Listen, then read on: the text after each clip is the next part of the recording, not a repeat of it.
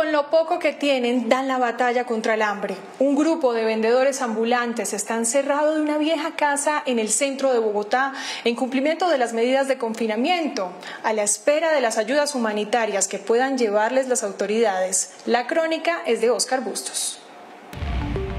Esta es una vieja casa en un barrio venido a menos en el centro de Bogotá.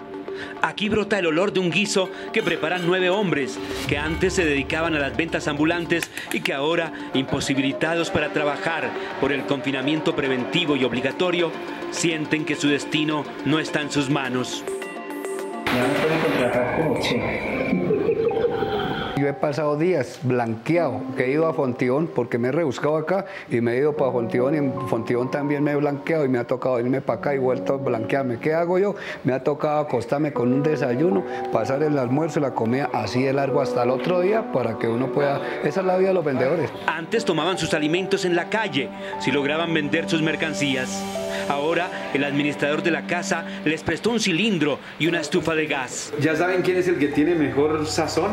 Eso, no, nosotros, nosotros no nos ponemos a, el todo es que llenar la barriguita. Eso no nos ponemos que, que usted hizo mejor ni nada, todos hacemos lo mismo. Todos hacemos de comer sabroso, gracias a Dios. ¿Cuál es el menú de hoy? Eh, lentejas, arroz y papita sudada. La lentejita le echamos, compramos una librita de chicharrones y la picamos y listo. La cocina improvisada quedó en medio de los cuartos. Mientras se hace el arroz, mirar por la ventana es una distracción, pero afuera solo hay ruina y miseria.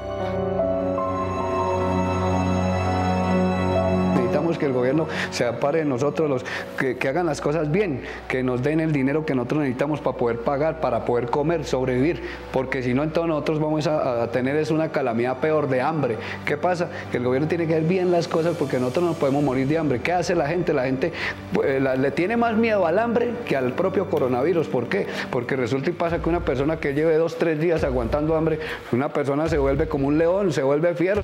Las noticias sobre el coronavirus están a la orden del día. Sí, pues la gente como no quiere dar caso, pues se salen y, y dieron cuatro semanas más. Con sus teléfonos de baja gama no fue posible que todos se inscribieran en una página web de la alcaldía que ofreció traer ayudas humanitarias a domicilio. Miles y miles de vendedores ambulantes en Bogotá y con seguridad en todo el territorio nacional quedaron manicruzados y prácticamente abandonados a su suerte con esta pandemia del coronavirus. Hoy esperan con ansiedad una llamada en sus teléfonos que les ofrezca una salida.